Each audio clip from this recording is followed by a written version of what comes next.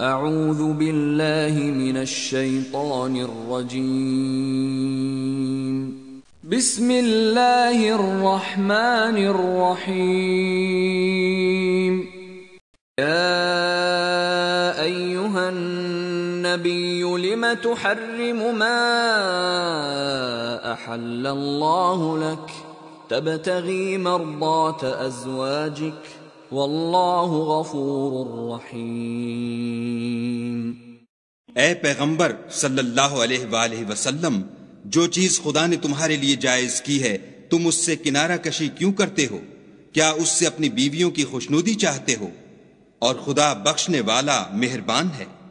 قد فرض اللہ لکم تحلت ایمانکم واللہ مولاکم وهو العلیم الحکیم نے تم لوگوں کے لیے تمہاری قسموں کا کفارہ مقرر کر دیا ہے اور خدا ہی تمہارا کارساز ہے اور وہ دانا اور حکمت والا ہے۔ فَإِذْ أَسَرَّ النَّبِيُّ إِلَى بَعْضِ أَزْوَاجِهِ حَدِيثًا فَلَمَّا نَبَّأَتْ بِهِ وَأَظْهَرَهُ اللَّهُ عَلَيْهِ عَرَّفَ بَعْضَهُ وَأَعْرَضَ عَنْ بَعْضٍ فَلَمَّا نَبَّأَهَا بِهِ قَالَتْ مَنْ أَنْبَأَكَ هَذَا قال نبأني العليم الخبير اور یاد کرو، جب پیغمبر نے اپنی ایک بیوی سے ایک بھید کی بات کہی، تو اس نے دوسری کو بتا دی۔ جب اس نے اس کو افشا کیا اور خدا نے اس حال سے پیغمبر کو آگاہ کر دیا، تو پیغمبر نے ان بیوی کو وہ بات کچھ تو جتائی اور کچھ نہ بتائی۔ تو جب وہ ان کو جتائی تو پوچھنے لگی کہ آپ کو یہ کس نے بتایا؟ انہوں نے کہا کہ مجھے اس نے بتایا ہے جو جاننے والا خبردار ہے۔ ان تتوبا الى الله فقد صغت قلوبكما وان تظاهرا عليه فان الله هو مولاه وجبريل وصالح المؤمنين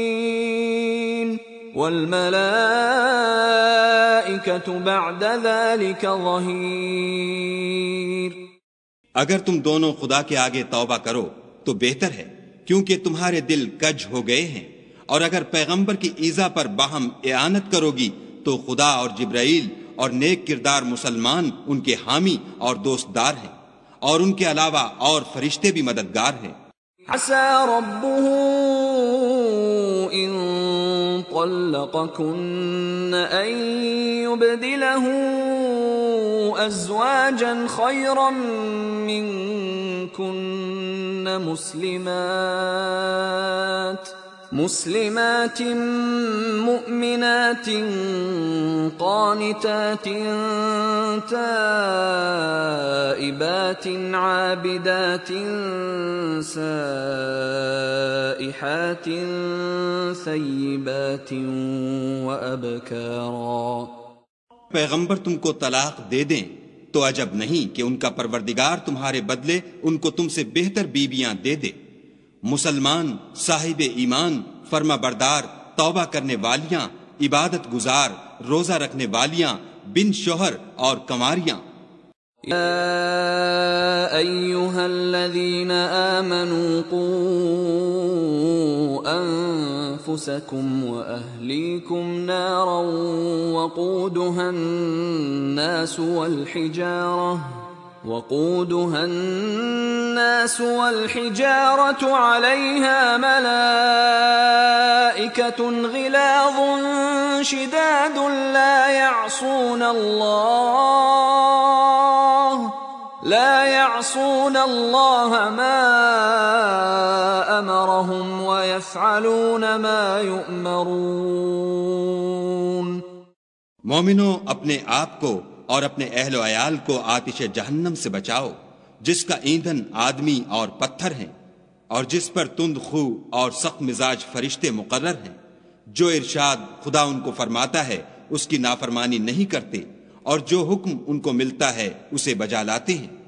يا أيها الذين كفروا لا تعتذروا اليوم إنما تجزون ما كنتم تعملون. آفرو آج بہانے مت بناو جو عمل تم کیا کرتے ہو انہی کا تم کو بدلہ دیا جائے يا أيها الذين آمنوا توبوا إلى الله توبوا إلى الله توبة نصوحا عسى ربكم أن يكفر عنكم سيئاتكم. عسى ربكم أن يكفر عنكم سيئاتكم ويدخلكم جنات ويدخلكم جنات تجري من تحتها الأنهار يوم لا يخزي الله النبي والذين آمنوا معه.